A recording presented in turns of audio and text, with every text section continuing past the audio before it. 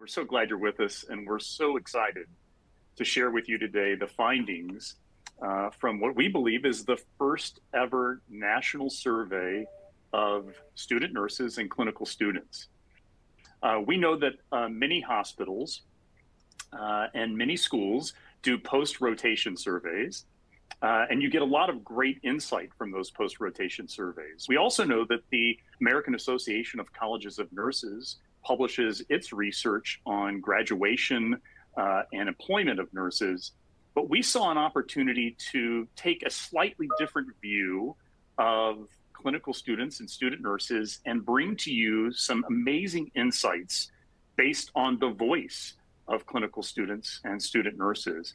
And that's where we, we've put together this national survey, which, as I noted, we believe is the first ever national survey of students about their rotation experiences uh, and there's some great insights we're looking forward to sharing with so you today. Over the years, um, as Scott mentioned, many of our My Clinical Exchange customers really came to us with this idea of just take care of our clinical rotations with efficiency. Um, but now that uh, need is shifted. And so we are finding that there's plenty of data that we've collected, um, but we really are trying to figure out how do we unpack that for our users and, and maybe use it and put it towards the world of re recruitment.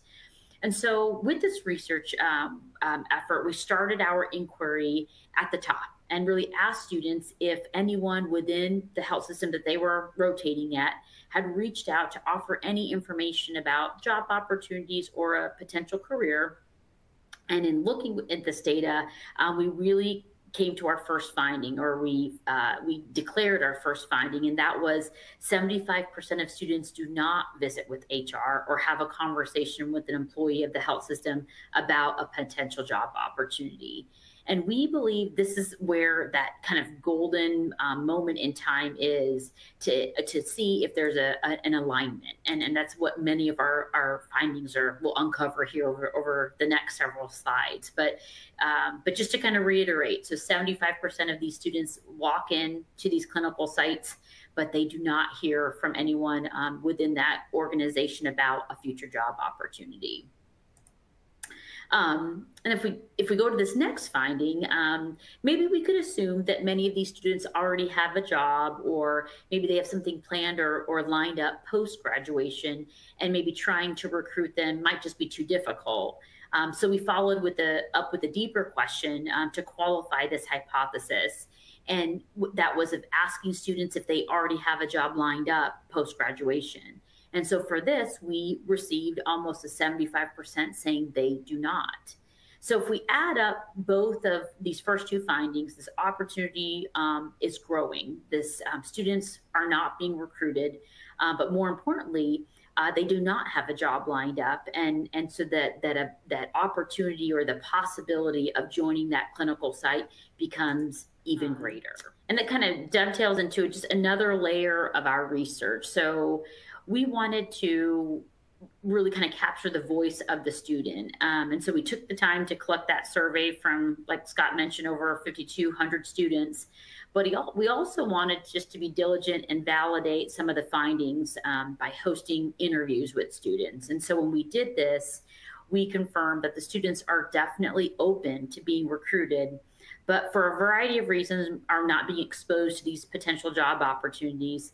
And this specific student um, shared that she really relies on her peers to fill her in on what she should be doing for a career. It, it kind of confirmed that peers have a really big influence on this generation of students. And so if we can leverage this, with the needed exposure and awareness as to where we could potentially work and and what work would look like, we could really potentially solve a very large staffing shortage. And so, um, just kind of exposing uh, the student to what does it mean to be working at this facility, and maybe coupling that with um, influence by a peer group um, could unlock something that might not be currently happening. I think this um, finding seven is so interesting in the sense that, you know, what we see is that in total, 90% of students say that their confidence has increased. And so when you think of that, you may not think the, the, this probably this next finding won't be that surprising, but there is an interesting component to this, and that is they're highly satisfied with the department uh, or unit where they did their rotation. Um, and what we found here is that you know three out of four students uh, were willing to highly recommend, they were highly likely to recommend the department or unit where they did their rotation to other students. Um, and I think that ties back to the last two findings both. Did it meet their learning objectives and did it uh, help build their confidence? But the other thing that we saw here in, in this answer was if they were highly likely to recommend the department or unit to other students, they were also highly likely to want to work in that department or unit, as Shanti touched on just a few moments ago. And just want to underscore the reasons why we see that. And it goes back to a slide that Shanti showed just a few moments ago, and that is the student's perception of the staff's engagement, the student's perception of the, the staff's working environment, and the student's perception of how welcoming the staff uh, was to them. And so just want to note, because we're, we're going to talk about the preceptor in just a moment, but want to, to note, because I think it's such an important point, that all of the staff in the department or unit where a clinical student or nursing student is on a rotation, the entire staff is impactful to the student's experience, so much so that it highly correlates to their willingness to, to uh, recommend that department or unit to other students. It's also highly correlated to their willingness to be interested in, in taking a job there. So that don't don't forget that that all staff has an impact on on the perception uh, and interest of clinical Our research report contains all 10 findings and uh, along with some additional data and insights based on those findings.